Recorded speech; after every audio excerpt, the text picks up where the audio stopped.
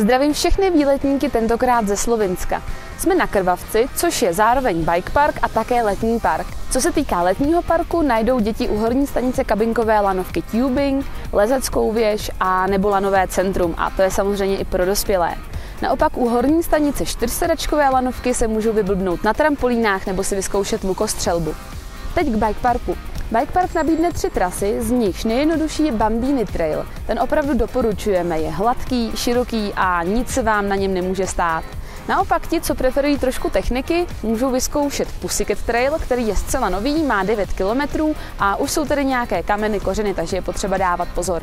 Krvavec ale samozřejmě nabídne i něco pro ty, co se neradi vozí lanovkou, takže tady najdete poctivý cross country okruh. S pestřením jak pro děti, tak pro dospělé bude jízda na kárách nebo koloběžkách.